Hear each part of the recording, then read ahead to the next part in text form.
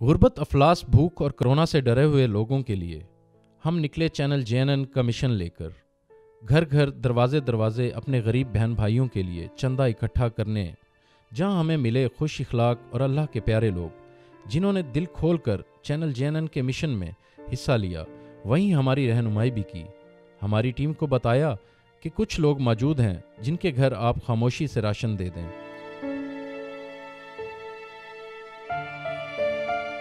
وہیں ایک گھر میں موجود بوڑھی ماں جی جنہوں نے پہلے تو ہمیں کہا کہ بیٹا، میں آپ کی مدد بعد میں کروں گی۔ لہٰذا ہم نے ماں جی کا شکریہ ادا کیا اور آگے بڑھے۔ لیکن اچانک ماں جی کی آواز آئی اور انہوں نے خاموشی سے ایک بڑی رقم ہماری ٹیم کے ہاتھ میں تھما دی۔ اسی طرح ایک بزرگ دہاڑی دار بابا جی جو خود ایک مستحق تھے، انہوں نے بھی اپنی جیب سے ایک رقم نکال کر ہمیں دی، جس سے شاید ایک روٹی بھی نہ خریدی جا سکتی تھی۔ لیکن اس رقم میں ہمارے حوصلے اور جذبے کو بلند کر دیا۔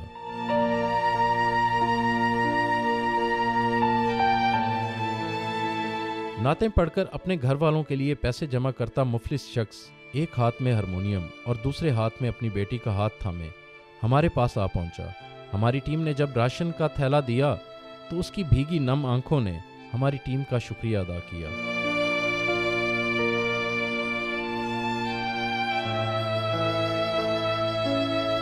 ہم اپنے پروردگار کا لاکھ لاکھ شکر ادا کرتے ہیں، جس نے ہمیں اپنی مخلوق کی معمولی سی خدمت کرنے کا شرف عطا کیا۔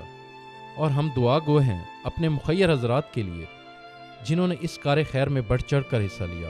اور آئندہ بھی امید کرتے ہیں، آپ اس کار خیر میں بڑھ چڑھ کر حصہ لیتے رہیں گے۔